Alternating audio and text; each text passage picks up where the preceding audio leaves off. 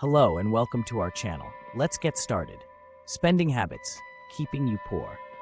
Your spending habits can have a profound impact on your financial well-being, potentially keeping you in a cycle of financial struggle.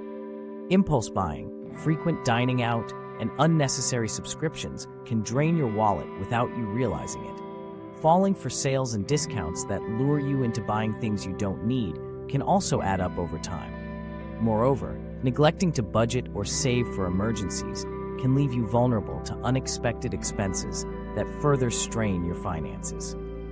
Constantly upgrading gadgets or vehicles beyond your means can lead to hefty debts and perpetuate a lifestyle of financial instability.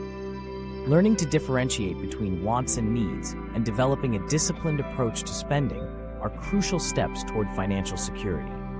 By tracking expenses, setting realistic budgets, and prioritizing savings, you can break free from detrimental spending habits and work towards building a more stable and prosperous future.